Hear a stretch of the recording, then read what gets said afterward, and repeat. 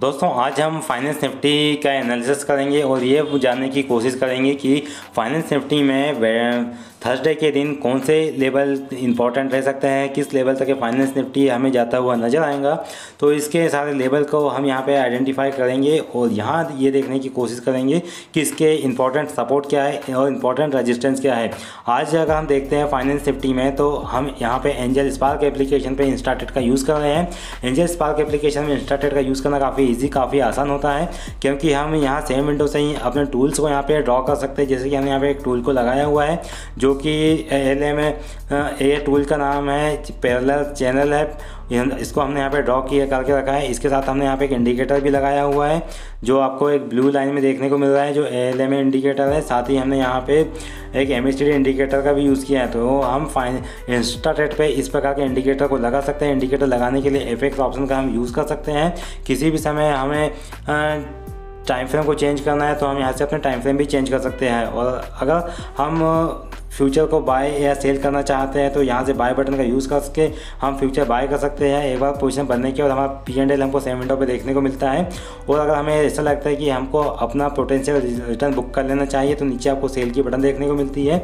इस बटन पर simply click करके आप विद इन अ सेकेंड में अपना पोटेंशियल रिटर्न को बुक करके आप यहाँ से ट्रेड से बाहर आ सकते हैं।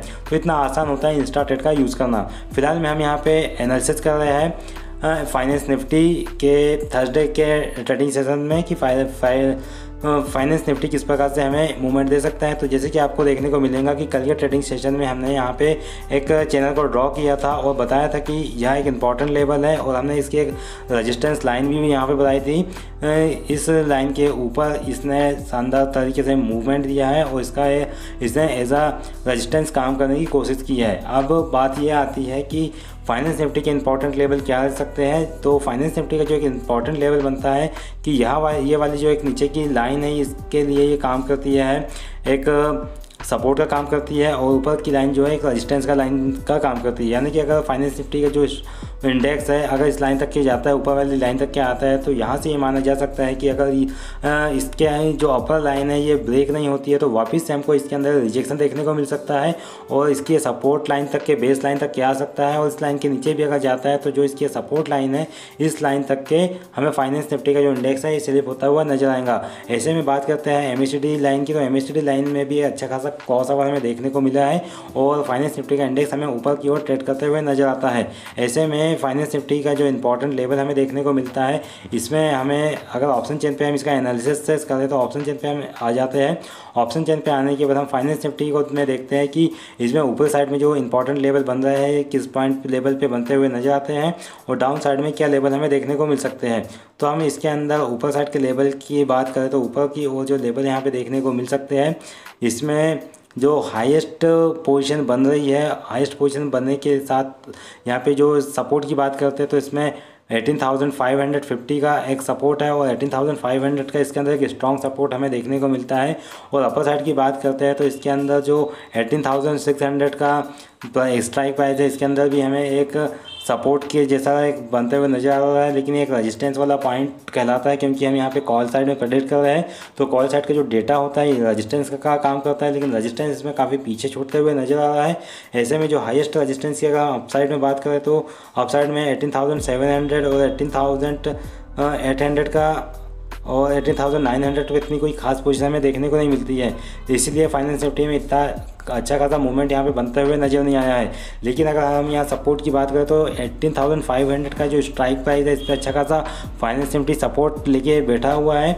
और साथ ही 18,600 के लेवल पे भी हमें एक अच्छा खासा सपोर्ट बनते हुए नज़र आ रहा है। अगर फाइनेंस निफ्टी 18,600 के प्राइस को होल्ड कर लेता है तो हमें फाइनेंस निफ्टी में ऊपर की ओर eighteen seven hundred two eighteen thousand eight hundred के लेवल हमें देखने को मिल सकते हैं। लेकिन अगर finance Nifty eighteen thousand six hundred को के लेवल को होल्ड नहीं करता है और स्लिप होता है तो हमें एटीन थाउज़ेंड फाइव हंड्रेड और एटीन थाउज़ेंड फाइव हंड्रेड के नीचे के लेवल भी हमें देखने को मिल सकते हैं।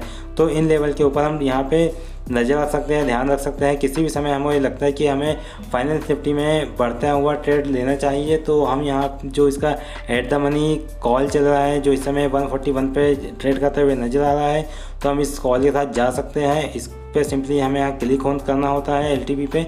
जैसे क्लिक करते हैं तो हमारे सामने ऑर्डर विंडो ओपन हो जाती है।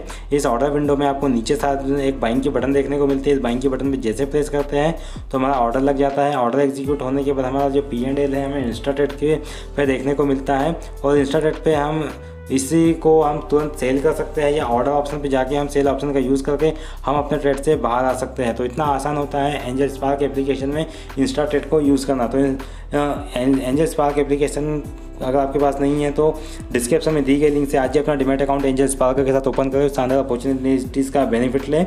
अगर हम बात करें यहाँ पे तो डाउन साइड में एक बड़ी रेंज की जो बात यहाँ पे सामने आती है, ये eighteen thousand six hundred thirty का लेवल एक डाउन साइड में देखने को मिलता है और ऊपर साइड में इसमें eighteen thousand eight hundred ninety के आसपास का लेवल ऊपर साइड में हमें देखने को मिल सकता है। तो इसमें हम शॉर्ट टर्म के नज़रिए से इन लेवल के ऊपर हम ध्यान रख सकते हैं और ट्यूज थर्सडे जो मार्केट ओपन होगा तो थर्सडे के दिन हमें एटीन थाउज़ेंड सिक्स हंड्रेड का जो लेवल है, काफ़ी इंपॉर्टेंट लेवल है। ये लेवल इसका एक सपोर्ट का काम करेगा तो इस लेवल पर भी हम ध्यान रख सकते हैं। तो उम्मीद करते हैं दोस्तों, वीडियो जानकारी आपको पसंद आई होंगी तो इस वीडियो को लाइक कीजिए, दोस्तों में शेयर कीजिए चैनल पर नहीं तो चैनल को सब्सक्राइब कीजिए। बेल नोटिफिकेशन को ऑन कीजिए, ताकि स्टॉक मार्केट से जुड़ा हर एक अपडेट आपको समय समय पर मिल सके। थैंक थैंक्स फॉर ज्वाइनिंग बने रहिए हमारे साथ। नमस्कार।